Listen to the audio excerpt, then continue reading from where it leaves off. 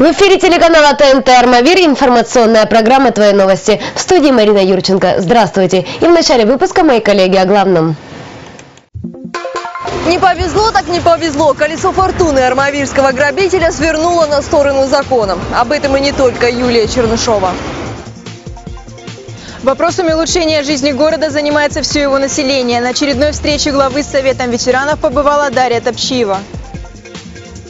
Уведомление на уплату имущественных налогов. С какими новшествами познакомятся армавирцы, узнавала Анна Мельченко. 30 лет жизни на сцене. О творчестве заслуженной артистки Кубани Татьяны Юдиной в репортаже Юлии Денежкиной. Обсудить сделанное, обозначить существующие проблемы и наметить пути их решения. 8 июня состоялась очередная встреча главы города Андрея Харченко и членов Совета ветеранов. Подробнее в сюжете Дарьи Топчиевой. Как решить проблемы, существующие в городе, совместными усилиями властей и жителей? Глава Армавира Андрей Харченко встретился с членами Совета ветеранов. Сегодняшняя встреча, она посвящена текущим вопросам, вопросам развития города, перспектив развития города, взаимодействия а, территориальных э, э, ТОСов и квартальных комитетов с руководителями первичных ветеранских организаций. Проведение подобных встреч – привычное мероприятие для обеих сторон, поэтому атмосфера в зале была какая-то особенная, дружеская. Глава администрации, поприветствовав присутствующих, отметил активное участие Совета ветеранов в жизни города, в частности, майских праздниках. Хочу вам сказать слова благодарности за ваше участие во всех э, мероприятиях городских, которые прошли 1-9 мая. Знаете, весь президиум, который стоял э, 1 мая на городской площади были приятно удивлены, когда шла колонна Совета ветеранов. Мы даже не верили своим глазам, что у нас столько много ветеранов, которые в строю.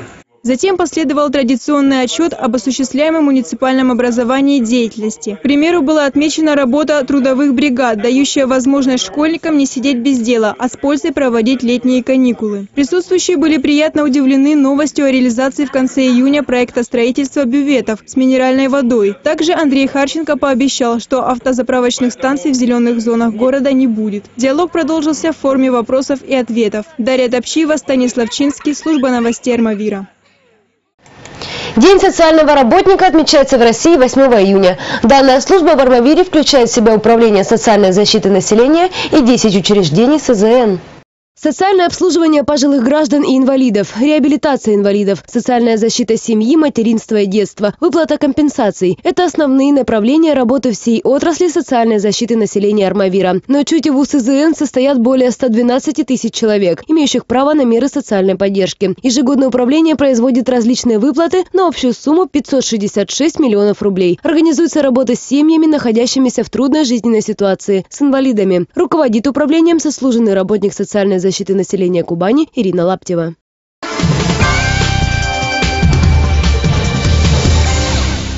В Армавире по горячим следам задержан вор. Преступник ограбил попавшуюся ему по дороге девушку, а потом попытался скрыться с места событий на мопеде. Но уехать далеко молодого грабителя не получилось, продолжит Юлия Чернышова.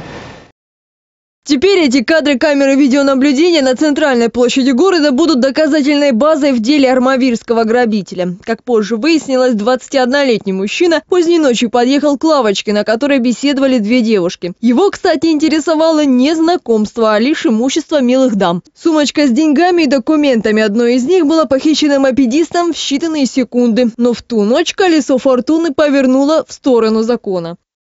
Девушка подробным образом описала внешность злоумышленника, после чего данная ориентировка была передана дежурным нарядам. А также к работе подключились э, сыщики отдела уголовного розыска, отдела МВД России по городу Армавиру.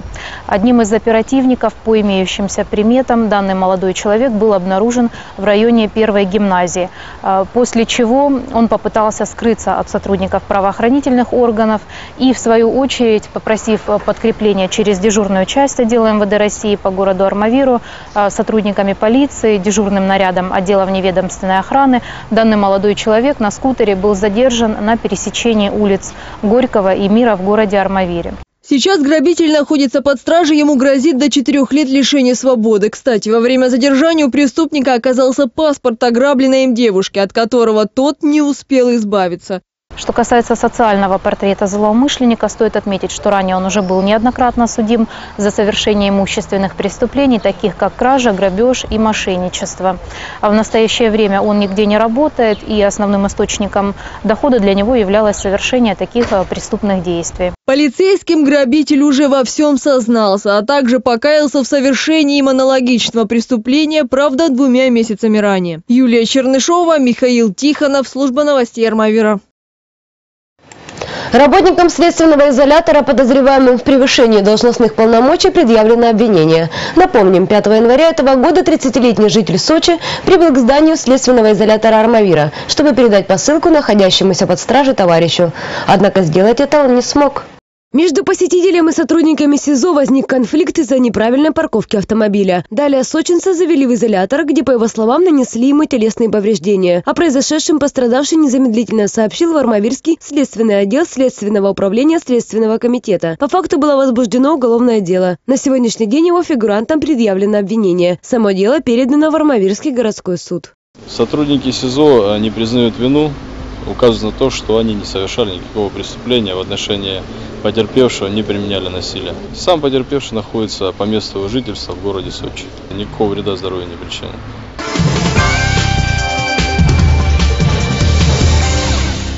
Многие армавирцы уже получили единое налоговое уведомление на уплату имущественных налогов за 2011 год, транспортного, земельного и на имущество физических лиц. Одним словом, граждане смогут уплатить сразу три налога по одной квитанции и в один срок. Кроме того, в самой квитанции произошли еще некоторые изменения. Какие, выясняла Анна Мельченко. Введение единого уведомления по имущественным налогам для физических лиц было утверждено приказом ФНС России в 2010 году. В настоящий момент фискальным органам физическим лицам уже разосланы квитанции данного образца. В текущем году срок уплаты имущественных налогов выпадает на 1 ноября 2012 года. Убедительная просьба к налогоплательщикам, получившим налоговые уведомления на уплату налогов, не дожидаться срока уплаты налогов, а проплачивать имущественные налоги э, по мере получения налоговых уведомлений. Данная форма единого уведомления в настоящий момент видоизменена. Теперь она предусматривает и обратную связь налогоплательщика с фискальным органом. Если в документе будут содержаться недостоверные данные, граждане смогут сообщить об этом, направив в инспекцию заявление по почте или любым другим способом. До наступления срока уплаты имущественных налогов, то есть до 1 ноября, э, в налоговую базу будут внесены изменения в соответствии с теми данными, которые будут представлены физическими лицами. В случае неполучения единого уведомления налогоплательщикам по каким-либо причинам необходимо сообщить в налоговую инспекцию по месту регистрации. Анна Мельченко, Александр Пензев, служба новостей Армавира.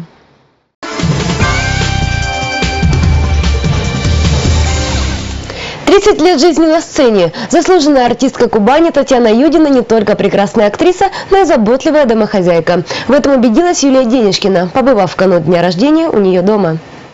Татьяна Юдина родилась в селе Акша Читинской области, в семейной династии милиционеров. Поэтому она хотела пойти по стопам своих родных, но судьба распорядилась иначе. Получила профессию бухгалтера и решила двигаться в выбранном направлении. Устроилась работать по профессии в Арзамасский драмтеатр. Театральное представление первый раз увидела в 17 лет и была им очарована. Вначале девушка только наблюдала за артистами со стороны, но все изменил случай. В театре Арзамаса ставили спектакль «Молодая гвардия». Не хватало артистки на девичью роль. На репетицию пригласили Таню. Здесь ей досталась ее самая первая эпизодическая роль Лены Познышевой, подруги Олега Кошевого. По словам членов театрального совета, девушка очень натурально сыграла страх при встрече ее героини с фашистами. Как выяснилось позже, юная Таня просто очень боялась выходить на сцену. От этого такой натурализм. Высокая оценка совета этой роли помогла ей в будущем. Два года девушка работала в Арзамасском театре не только на сцене, но и в бухгалтерии. А еще у нее получалось шесть сценические костюмы и элементы к декорациям. Сказал главный режиссер, говорит, надо тебе уезжать. Угу. Вот. Он мне помог, да? да, он мне помог э, составить там э, письма, я в разные театры написала письма. Мне пришло, помню, из Камышина, по-моему, с Сарапова, еще откуда-то, мне пришло сразу приглашение. Uh-huh. А Котловский драматический театр меня пригласил на просмотр худсовету.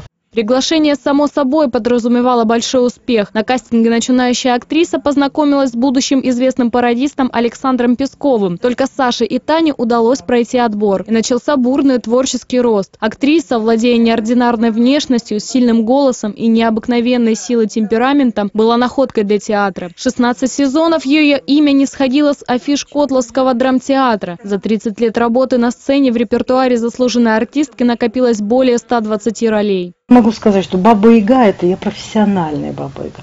То есть все роли, которые вот в Котласе были, да и здесь я тоже уже играю Бабу Ягу, играла тоже. Все роли в Котласе, если Баба Яга лиса, это сто процентов была я. Среди особо запоминающихся ролей Варвара в последнем сроке Распутина. Полина в спектакле «Выходили бабки замуж», а среди любимых – роль хороших в театральной постановке прошлым летом в Чулимске. И Миропа Мурзовецкая в спектакле «Волки и овцы» Островского. В 2000 году Татьяна переехала из Архангельской области в Краснодарский край. Уютный город Армавир ей сразу пришелся по душе. Здесь она стала играть на сцене одного из старейших театров Кубани. Быстро нашла общий язык с коллегами. Сегодня Татьяна Владимировна Ивановна и актриса, и режиссер-постановщик. А еще она отличная домохозяйка, мать двоих детей и бабушка одной внучки. Свободное от работы время любит заниматься разведением цветов, в частности роз. Жаль, что в этом году из-за холодной зимы многие молодые побеги погибли, но следующий год обещает быть урожайным. Причем как на любимые цветы артистки, так и на театральные постановки. Юлия Денежкина, Станислав Чинский, служба новостей Армавира. На международном фестивале-конкурсе детского творчества «Цветик-семицветик» в Орленке победителями оказались воспитанники Армавирского дворца детского юношеского творчества. Анжелика Верясова, Никита Бехтерев, Елизавета Нечаева, Мелкон Вартанов и Алекс Лисаренко, педагог Рима Мамец.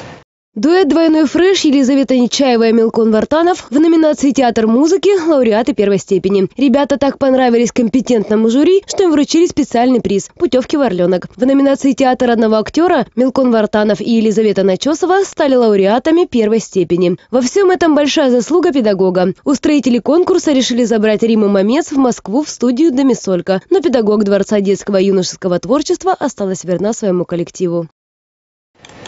Об этих и других событиях вы также сможете узнать любое время суток на сайте в интернете www.media.tv. Там же вам доступна видеоверсия информационной программы «Твои новости». А на форуме «Медиагрупп» можно предложить волнующие вас темы для репортажей. На этом выпуск завершен. Далее информация о погоде на ближайшие сутки. В студии была Марина Юрченко. Всего вам доброго и до встречи на телеканале ТНТ «Армавир». Одежда ведущей предоставлена магазином женской одежды «Гюзела Классик», улица Мира, 51.